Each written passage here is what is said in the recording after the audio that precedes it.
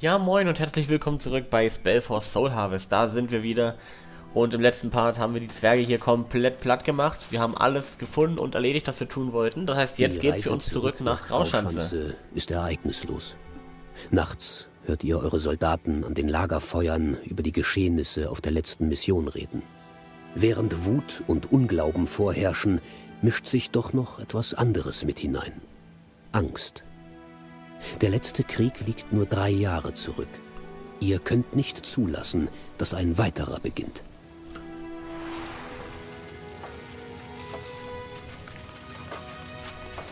Ja, Gold, ich hab Was haben die, wir denn hier? Lizenz da. Wenn das nicht die kümmerliche Blasshaut ist. Ja? Hier ist die Geisteressenz, die ihr... Hervorragend! Ich brauche nur einen Moment.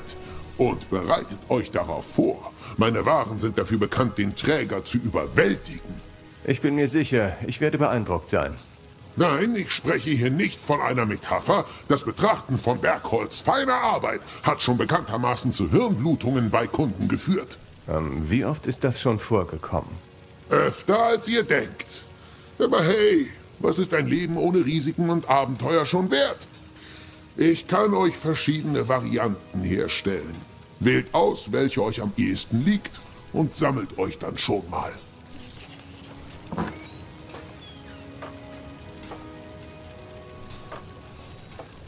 Die Resistenzen, würde ich sagen. Hier ist sie. Eine Reliquie, sie alle zu binden. Ihre magischen Eigenschaften werden euch sicherlich helfen, andere vom Schlachtfeld zu fegen. Ah, und nehmt auch gleich das hier. Das ist ein kleines Nebenprodukt meiner Arbeit. Damit könnt ihr nach Belieben Leichen einäschern. Ganz ohne Öl. Ich will aber keine... Auf ein andermal. Oh, bei Zarachs Zähnen wartet. Falls ihr über noch mehr rachsüchtige Geister stolpern solltet, bringt mir ihre Essenz. Ich kann dann vielleicht noch mehr Macht in euer Schmuckstück hämmern. Gut, seid bedankt, Bergholl. Achso, das ist so eine Endlos-Quest, okay. Ja, ja, wie immer ihr wollt. Zurück an die Arbeit. Nun gut. Hm, nichts Neues heute. Ja, kommt nur näher. Ich habe, was ihr braucht.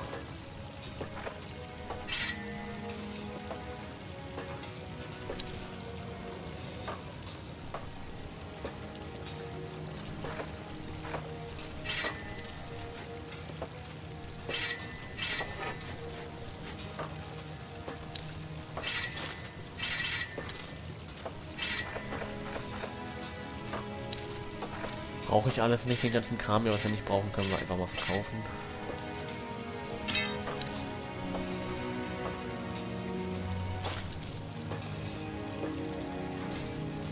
Haben wir wieder so ein bisschen mehr Platz hier.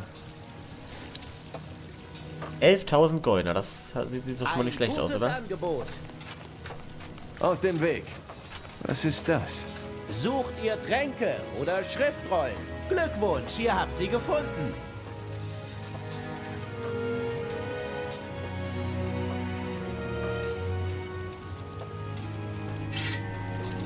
Lebt wohl!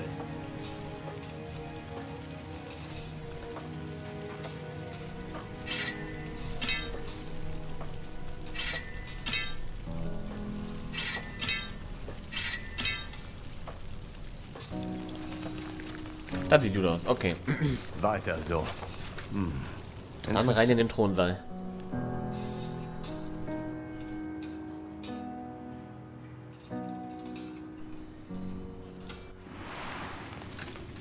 Soweit, so gut.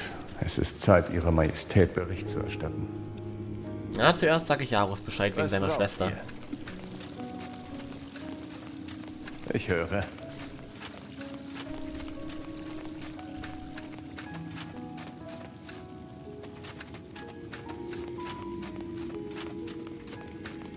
Siege-Resistenz ist mittlerweile schon so krass, da kann uns gar keiner mehr irgendwas.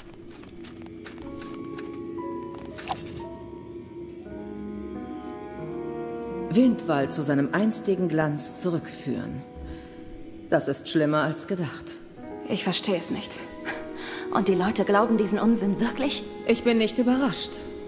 König Rorek war nie sehr beliebt. Er war ein schlechter Herrscher, launisch und grausam.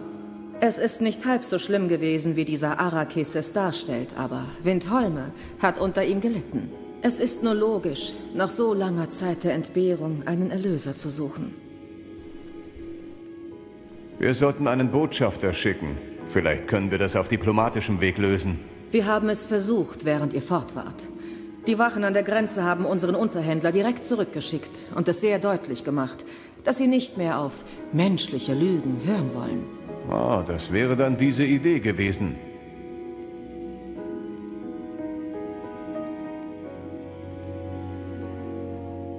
Wer auch immer dieser Priester ist, wir sollten ihn aufhalten.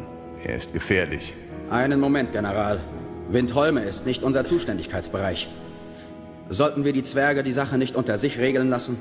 Dreikott war schon der zweite Angriff auf Nortanda. Und es könnte nicht der letzte gewesen sein. Ich werde darüber nachdenken. Wie auch immer. Ihr habt euch vorbildlich verhalten, General. Es gibt noch eine weitere Sache, um die ich euch im Rahmen eurer Prüfung bitten will. Und die ebenso wichtig ist. Skada? Selbstverständlich. Ich werde mich kurz fassen. Ich glaube, dass die Entität, die Ronda Lakain mit Aonir verwechselt hat, erneut unsere Welt zu betreten versucht. Der Gott des Lichts. Ihr klingt nicht überrascht. Ich hatte einen Verdacht. Wie auch immer. Bitte sprecht weiter. Natürlich. General Eref, habt ihr jemals vom Gewebe der Seelen gehört? Nein. Es ist ein Muster. Jedes intelligente Lebewesen besitzt einen Funken von Magie. Eine Flamme, die direkt mit dem Urfeuer in Verbindung steht, der Essenz des Lebens. Und mir sind Veränderungen in diesem Muster aufgefallen. Eine Unstimmigkeit, wenn man es so nennen will. Iria, der Zirkel und die Gelehrten von Grauschanze haben nach der Reinheit genauer zum Gott des Lichts nachgeforscht, oder? Was wisst ihr darüber? Nur sehr wenig. Es ist eine Entität, die an einem Ort zwischen den Realitäten existiert und eine Welt verschlingt, sobald sie sie betritt. Mehrere Religionen und Mythen verweisen darauf, besonders jene aus der Frühzeit Eos. Es ist also, anders gesagt, eine uralte Gottheit. Wir folgen derzeit einer vielversprechenden Spur, aber noch können wir nichts Genaues sagen. Jetzt habt ihr meine Neugierde geweckt. Ich verstehe. Ihr seid ziemlich gut darüber informiert. Wie das? Nun, vermutlich, weil das mein Beruf ist. Bevor ich ins Exil ging, habe ich... Ähm, wie soll ich das umschreiben? Ich habe die ätherischen Aspekte des Lebens studiert. Geburt und Tod, das Wunder des Bewusstseins, die Natur der Realität. Die Welt ist sehr viel mehr als nur das, was wir sehen können. Das ist ein ziemlich umfangreiches Forschungsgebiet. Das mag sein, aber all diese Dinge stehen miteinander in Verbindung. Es sind Phänomene, die nicht nur durch reine Beobachtung verstanden werden können. Was für eine Art von Unregelmäßigkeit habt ihr beobachtet? Das ist schwer zu beschreiben. Um uns weiter in der Metapher zu bewegen, dass jedes Lebewesen eine Flamme ist, dann wäre die Gesamtheit des Lebens eine Million von Lichtern in der Dunkelheit. Und in letzter Zeit erlöschen Lichter in einem seltsamen Muster. Ganze Gruppen auf einen Schlag. What? Vielleicht Schlachten? In Schlachten sterben die Kämpfenden einer nach dem anderen. In schneller Folge, sicher, aber nicht exakt zum selben Zeitpunkt. Dies ist anders. Stellt euch 50 Kerzen vor, die nebeneinander stehen und alle im selben Augenblick gelöscht werden. Und warum denkt ihr, dass dieses Erlöschen etwas mit dem Gott des Lichts zu tun haben könnte? Das ist einem Laien schwer zu vermitteln.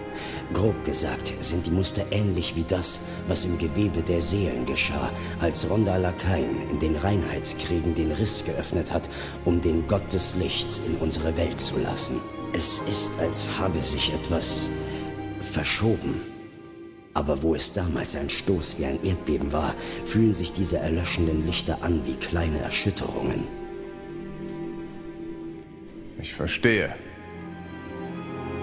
Könnten die Zwerge hinter diesem Verschwinden von Seelen stecken? Der hohe Hierophant Arrakis? Ich bezweifle es. Die einzige Magie, die Zwerge beherrschen, ist das Erdformen.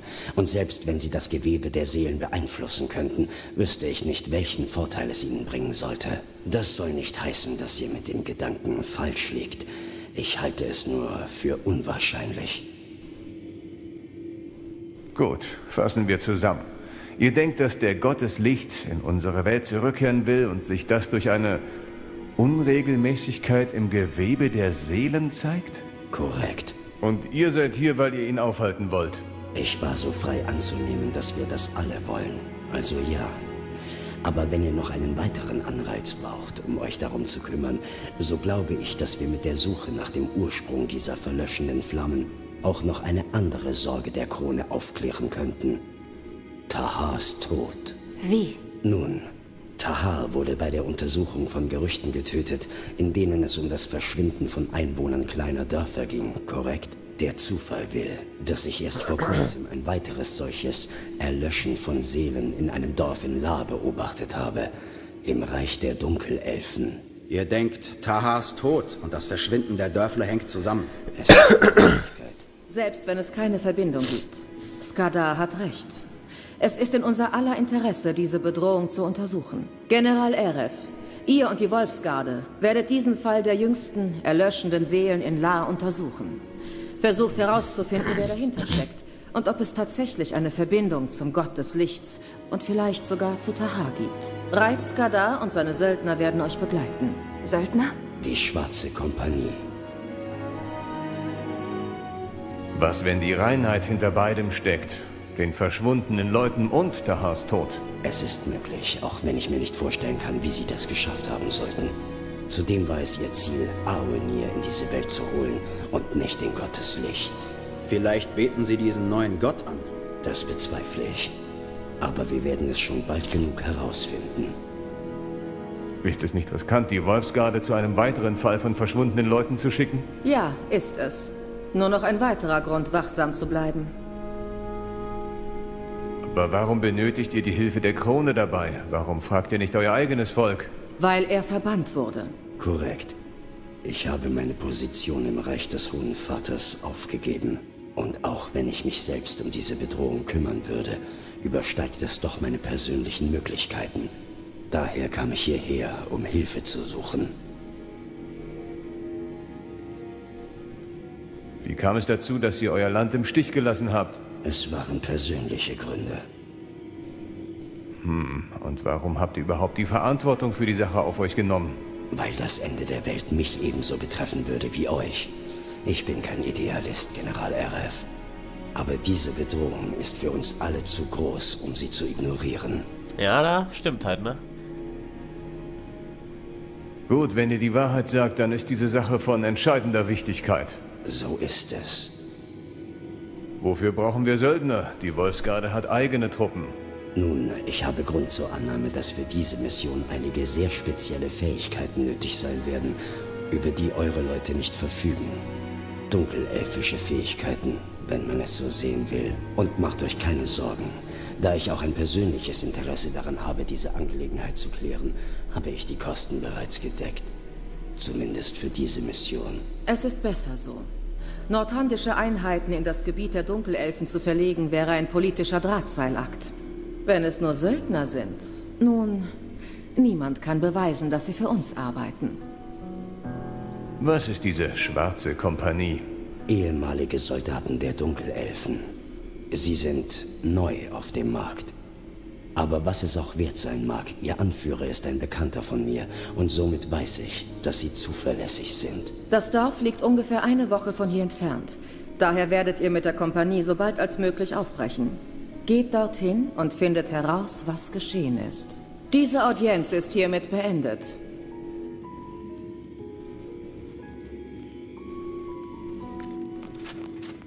General, konntet ihr einige der Überlebenden finden? Das habe ich. Sie kannten eure Schwester. Und? Wussten sie, was mit ihr passiert ist?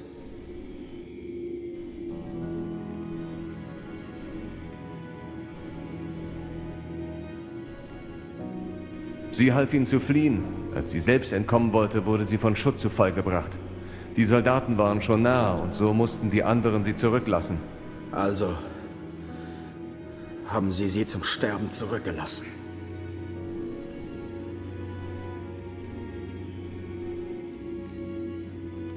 Botschafter. Sie blieb dort, um so vielen wie möglich die Flucht zu ermöglichen. Dass sie noch leben, bedeutet, dass ihr Opfer nicht umsonst war. Nein. Sie haben ihre Freundlichkeit ausgenutzt.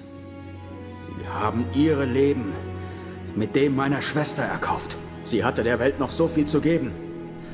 So viel, was sie noch hätte tun können. Aber stattdessen starb sie. Allein und verlassen.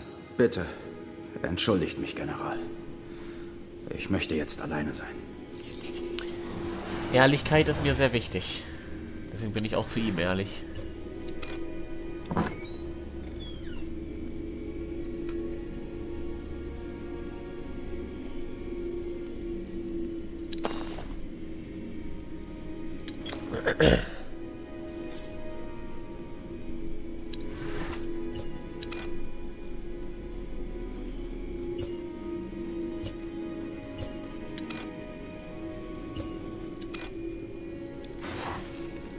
Was gibt es? Nur zu. Nun gut, dann geht's jetzt für uns auf in das iaranische Sumpfland. Zu den Dunkelelfen.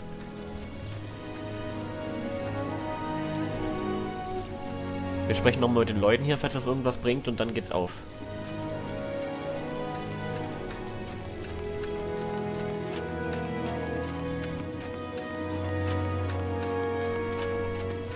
General. Ich hatte gehofft, dass ihr hier vorbeikommt. Hättet ihr einen Moment Zeit für ein Gespräch? Natürlich. Worum geht es? Oh, ich... Ich wollte mich entschuldigen. Ihr wisst schon, dafür, dass ich so... so kalt war, als ihr hier ankamt. Es ist nur... Ich vermisse Taha so sehr. Das kann ich mir vorstellen. Wie standet ihr zueinander? Ihr meint, wir... Oh, nein. Wir waren kein Paar. Aber ihr, General, gibt es jemanden, den ihr wahrhaft euren Freund nennen würdet? Jemand, der euch einfach versteht. Jemand, der immer hinter euch stehen wird. Also, mir fällt hier gerade keiner ein. Wir könnten jetzt natürlich so tun, als hätten wir eine Backstory und äh, da, wo wir auf unserer Mission waren, da, also, Nicht wirklich, nein. Dann wird es für euch vermutlich schwer sein, das nachzuvollziehen. Wir hatten immer diese langen Gespräche, vor allem in den Monaten nach den Kriegen. Bei einem Krug Bier, manchmal bei einem Spaziergang durch die Festung. Taha war die erste Person, bei der ich das Gefühl hatte, dass ich ihr alles erzählen konnte. Ohne Misstrauen, ohne Vorbehalte. Ich glaube, es ist sehr selten, dass man jemanden findet, dem man einfach so vertrauen kann. Aber General, die Sache war die. Taha hatte einen inneren Kampf ausgefochten. Albträume, Halluzinationen, Panikattacken. Die Liste ist lang. Ich meine, wie würde es euch gehen, wenn ihr eure eigene Mutter hätte töten müssen, nachdem ihr gerade erst erfahren hatte, dass sie noch lebt? Taha war traumatisiert. Das wollt ihr doch sagen, oder? Ja, es war aber nicht allgemein bekannt. Taha bestand darauf. Alle anderen bekamen nur die Heldenfigur zu sehen, die die Wolfsgarde anführte. Aber mir gegenüber war das anders. Als die Nachrichten von den vermissten Fällen uns erreichten und die Hoffnung des Landes in den Reinheitskriegen darauf bestand, dass die Wolfsgarde ermitteln sollte, war ich dagegen. Ich hielt es für eine schlechte Idee. Es war eine zu eilig getroffene Entscheidung. Das Risiko zu groß. Und genau das habe ich Taha auch gesagt. Die letzten Worte, die wir miteinander sprachen, waren voller Wut. Genau hier in der Wolfshalle. Und das, das bricht mir einfach das Herz. Denkt ihr, dass das Trauma mit zu Tahars Tod geführt hat? In dem Sinne, als dass es zu schlechten Entscheidungen beigetragen hat? Ja. Ja, ich denke, das hat es. Ich weiß nicht, ob es euch helfen kann, aber ich weiß, wie es ist, jemanden zu verlieren. Es tut mir leid, dass ihr das durchmachen müsst. Danke. Ich weiß es zu schätzen. Wie auch immer, entschuldigt den langen Monolog. Ich denke, was ich eigentlich sagen wollte ist, sollte ich mich jemals wieder wie eine verzogene Prinzessin verhalten, dann vermutlich, weil ich mehr Zeit brauche, um all das zu verarbeiten. Ich verstehe das. Oh, kann ich euch etwas fragen, General? Was? Das Amulett, das ihr immer tragt, verbirgt sich dahinter eine Geschichte? Ich mag mich irren, aber ich habe den Eindruck, dass dieses Schmuckstück für euch wichtig ist. Oh, das? Hat mir jemand in Empiria gegeben. Ah, ich verstehe. Entschuldigt, ich wollte nicht aufdringlich sein. Schon gut. Ihr könnt mich alles fragen. Ihr werdet noch bereuen, das gesagt zu haben. Ich schätze, ich sehe euch bald wieder hier, General, oder? Danke für das Gespräch. Keine Ursache. Und diese kleinen Gespräche sollte man auch führen, um die Beziehung zu den Leuten zu stärken. Dementsprechend gucke ich mal breit, ob ja. noch irgendwas zu sagen hat. Wir sollten später noch miteinander reden, oder nicht? Okay, du nicht, nein. Iria ist, glaube ich, auch die Hauptperson, mit der man diese Gespräche führen kann. Das geht nicht mit allen.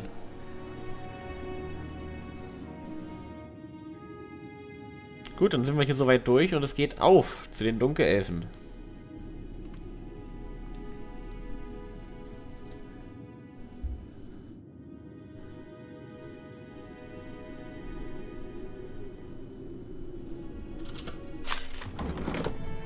Dunkelelfen freigeschaltet, yeah.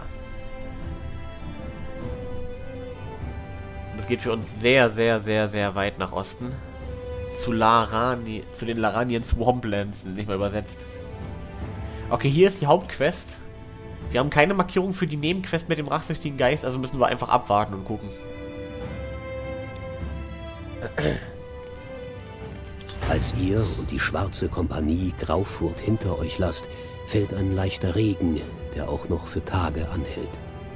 Das Land liegt in einem seltsamen Halblicht da, als hätte die Sonne einen Teil ihrer Lebensenergie eingebüßt. Und dennoch herrscht um euch ein Eindruck von neuem Erwachen. Kinder spielen auf den Dorfstraßen, Bauern arbeiten mit müder, aber zufriedener Miene auf ihren Feldern. Vielleicht hatte die Königin recht, denkt ihr, als ihr euch am Ende des ersten Reisetages in euer Zelt zurückzieht. Vielleicht ist dies der Anfang einer neuen Ära. Ihr schlaft nur allzu leicht ein. Ja, der Traum? Es ist etwas anders als sonst. Oh shit. Ja? Nun, das ist unerwartet. Was meint ihr damit? Ihr seid schon hundertmal hier gewesen, aber euer Geist hat euch nie über diesen Punkt hinausgehen lassen. Und doch seid ihr jetzt hier. Und etwas an euch ist anders. Ich frage mich, was es ist. Habt ihr endlich aufgehört, euren eigenen Schatten entkommen zu wollen? Ich weiß nicht, wovon ihr da redet.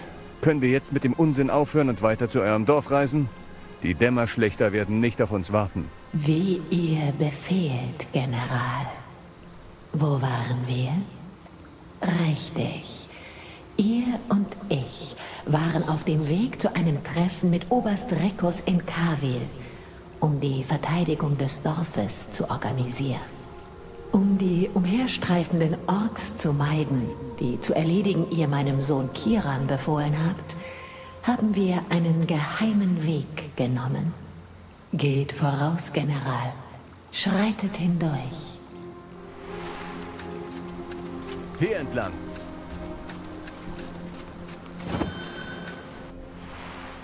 Hier drüben. Wenn ihr mir die Bemerkung erlaubt, General, ich verstehe, warum mein Sohn euch bewundert. Ihr seid ein guter Anführer.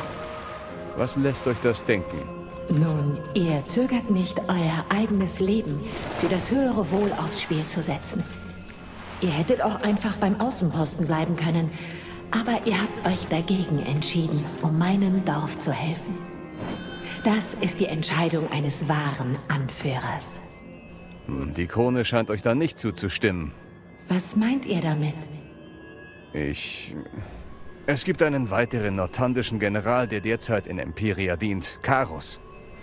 Letzte Woche hat die Krone beschlossen, ihn statt mich zum Generaloberst zu befördern. Obwohl er den ganzen Tag nichts weiter tut, als untätig herumzusitzen. Oh, das tut mir leid. Ach, schon gut. Es ist nur ein Titel. Was ist das? Aus dem Weg. Gut. Jetzt müssen wir nur noch der Straße zum Ort vor. Bei den Wächtern. Seht ihr das? Leider ja. Ein toter Ork. Seltsam. Was macht er so nah beim Dorf? Ich verstehe das nicht, General. Ihr sagtet, Sie würden erst bei Einbruch der Dunkelheit eintreffen. Unseren Kundschaftern nach sollten sie erst dann hier sein. Es tut mir leid. Ich verstehe das selbst nicht. Aber es besteht immer noch kein Grund zur Panik. Der eigentliche Teil der Horde kann die Rote Anhöhe noch nicht passiert haben. Und selbst wenn, ist Oberst Rikus vor Ort. Aber... Es ist alles gut. Also, wo ist jetzt das Dorf? Wir sollten keine Zeit mehr verschwenden.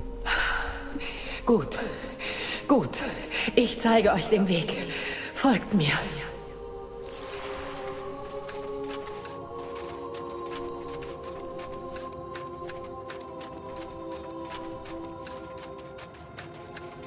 Bleibt nah bei mir. Eine weitere Barriere. Und da sind wir wieder. Ich dachte mir schon, dass das passieren würde. Was, was ist das? Habe ich euch das nicht schon erklärt?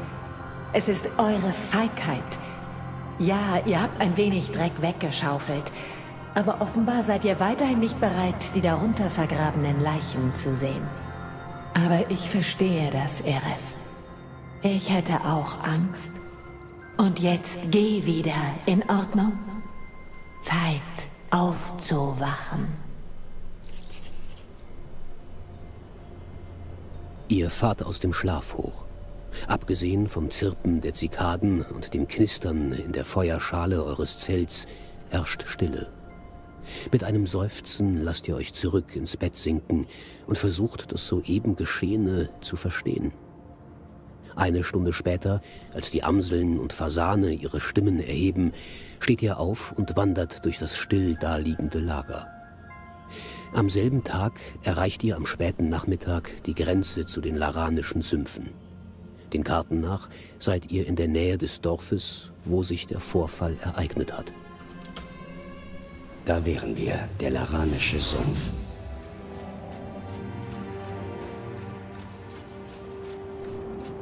Was für ein lieblicher Ort. Gibt es einen Grund dafür, dass Dunkelelfen in Höhlen siedeln? Die Luft kann es nicht sein. Weil sie einfach zu verteidigen sind. Ich habe die verschwundenen Seelen zu einem Dorf tiefer im Sumpf zurückverfolgen können. Es ist nicht mehr auf der Karte verzeichnet, aber wir sollten schon in der Nähe sein. Ich schlage vor, dass wir einen Blick darauf werfen, während die Schwarze Kompanie im Süden das Lager aufschlägt. Und ihr seid euch sicher, dass sie nicht einfach nur das Geld einstecken und dann abhauen werden? Sie müssen bewaffnet und bereit sein, falls wir hier auf eine hässliche Überraschung stoßen. Sie werden bereit sein, wenn wir sie brauchen. Wollen wir, General? General. Was? Äh, oh ja, sicher. Entschuldigt dich. Ich habe nicht gut geschlafen. Das habe ich gehört. Gehen wir. Diese Sümpfe sind ziemlich groß. Mal sehen. Klingt gut. Ralkein! Blassblüter! Bei den... Wartet. Wir wollen euch nichts tun. Wir... Tötet sie! Sie wollen uns was tun. Ich muss mich konzentrieren.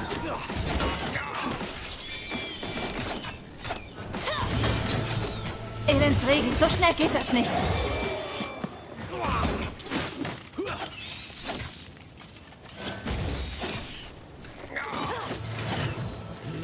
Bei Tiaras Atem. Warum... Warum haben sie uns angegriffen? Wer war das? Infiltratoren. Dunkelelfische Soldaten. Klauen. Es steht schlimm. Kommt, reden wir mit dem Überlebenden. Was gibt es? Was ist das? Hallo? Geht es euch gut? Die Augen des Mannes scheinen direkt durch euch hindurch zu sehen. Blut sickert aus den Bisswunden an seinen Beinen. Er scheint sich unserer Anwesenheit gar nicht bewusst zu sein. Erinnert mich unangenehm an den Zwerg, den wir in Windwall gefunden haben. Der beim Archäologen. Natürlich. Right, was haltet ihr davon? Er ist leer. Hä? Dieser Mann. Jemand hat ihn seiner Seele beraubt. Das ist äh, interessant. Das ist creepy. Denkt ihr, diese Dunkelelfen haben das getan? Das wäre die einfachste Erklärung, oder nicht? Die Frage ist, wie sie das getan haben. Ich habe so etwas noch nie gesehen. Wie bei dem Zwerg in Windwall? Nicht ganz. Der Zwerg in Windwall besaß noch einen Rest seiner Seele, so als wäre nur ein Teil von ihm geraubt worden. Dieser Mann ist fort. Gänzlich und absolut fort. Woher wisst ihr, dass seine Seele fort ist? Wie gesagt, das ist mein Beruf. Normalerweise besitzt jedes Lebewesen eine Flamme, die stirbt, sobald die Hülle ihre Funktion aufgibt. Der Körper dieses Mannes hingegen scheint intakt zu sein. Nur seine Essenz ist fort. Das ist grauenhaft. Anders gesagt, hat ihm jemand seine Seele gestohlen? Im Grunde ja. Er kann nicht hören, nicht fühlen, nicht denken. Er ist zu einer leeren Hülle geworden. Hm, ich denke, damit haben wir den Grund für die verschwindenden Seelen gefunden, oder? Und diejenigen, die dafür verantwortlich sind. Vermutlich ja, aber wir sollten keine voreiligen Schlüsse ziehen. Sehen wir erst einmal, was im Dorf geschehen ist. Gut. Lasst uns... Moment, was geschieht hier?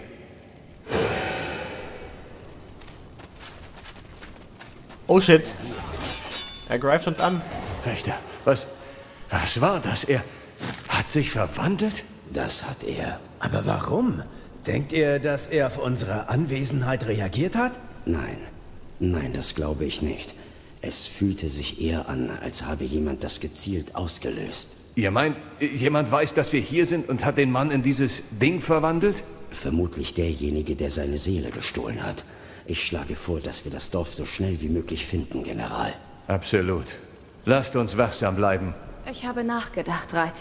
Könnte diese Unstimmigkeit vielleicht eine Mutation des Blutbrandes sein? Telepathie, gestohlener Verstand. Es klingt ähnlich, oder? Nein. Warum seid ihr da so sicher? Weil ich nach dem Tod meiner Familie durch den Blutbrand wenig anderes getan habe, als die Krankheit zu studieren. Sie hat nichts hiermit zu tun. Eure Familie? Finden wir einfach das Dorf in Ordnung. Finden wir. Und zwar im nächsten Part von Spellforce 3 Reforced. Äh, Soul Harvest. Ich sag, glaube ich, immer aus Versehen Reforced. Gut, danke schön fürs Einschalten, Leute. Bis zum nächsten Mal. Haut rein und ciao.